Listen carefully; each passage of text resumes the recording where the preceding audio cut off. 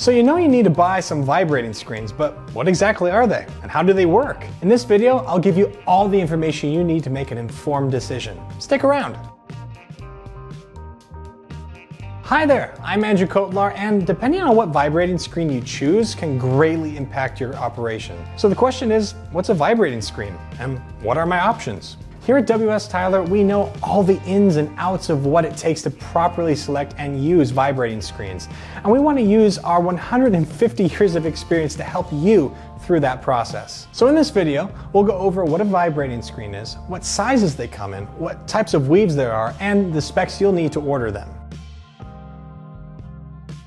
Vibrating screens are wire mesh screens that are created to fit inside a screening machine for separation. Vibrating screens actually have quite a few names, and you could call them screen sections, uh, hook screen sections, or just wire mesh screens or woven wire screens. But for this video, we'll stick with the tried and true vibrating screen. So vibrating screens are used to separate particles anywhere from generally uh, 6 mesh down to 325 mesh.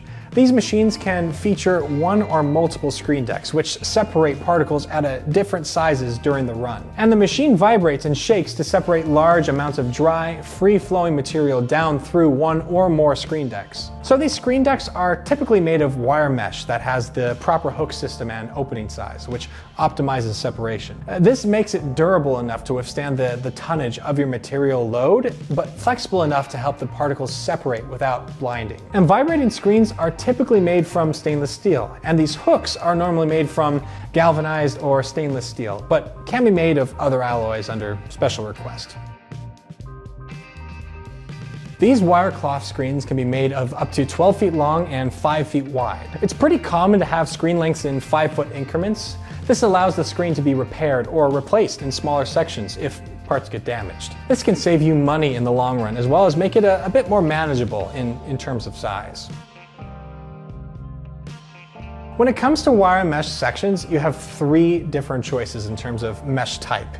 You got square mesh, ton cap, and tie rod. Square mesh is typically the standard mesh pattern that's used, and square mesh is literally what it sounds like. The openings are square. It's the typical over-under pattern that you would expect when talking about any kind of weaving. But there are some variations in these types of weaves. Uh, for instance, you can have two overs and, and one under uh, stuff like that. Ton cap, or the tonnage capacity screen, is designed to be more durable than square mesh.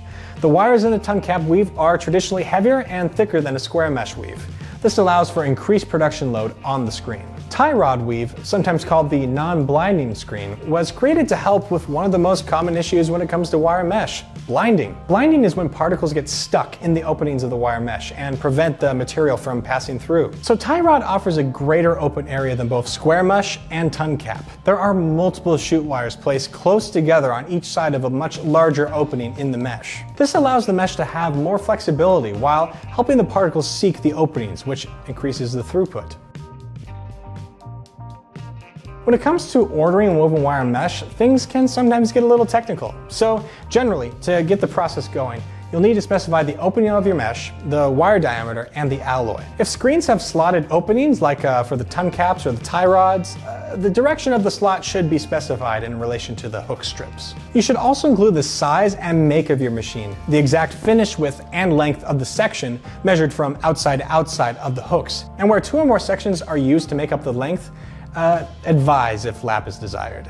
Thanks so much for watching. If you have any questions, fill out a contact us form so we can answer your specific questions. Just click the link in the description. And if you'd like to learn even more about woven wire mesh or our many products, we have a learning center filled with written and video content to make you an expert. Just click that second link and you'll be that expert in no time. And don't forget to click the subscribe button and ring that bell to keep up with all things WS Tyler. Once again, my name is Andrew Kotlar, and I'll see you around in the next video. Bye for now.